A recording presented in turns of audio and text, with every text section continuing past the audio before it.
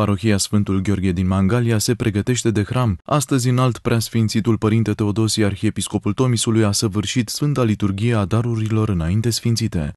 Slujba liturgiei darurilor mai înainte sfințite a fost combinată cu vecernia Sfântului Marelui Mucenic Gheorghe. De aceea, hramul Bisericii dumneavoastră a și început. Și iată, aceasta este biserica cea mai veche din Mangalia, biserica cea care a purtat sufletele înaintașilor dumneavoastră și i-a dus înaintea lui Dumnezeu.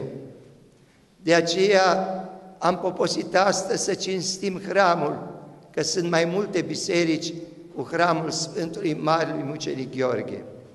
În prezent se lucrează la actele necesare pentru trecerea terenului pe care este situată biserica în proprietatea sa pentru a iniția proiectul de reabilitare exterioară a bisericii.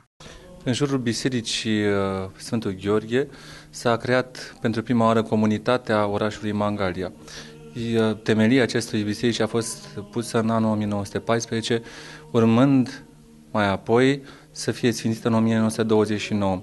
Astfel s-au împlinit 100 uh, și ceva de ani de când ea, ei au fost, i-a fost pusă temelia, motiv pentru care a fost lansată și o mică broșură cu istoria acestei biserici.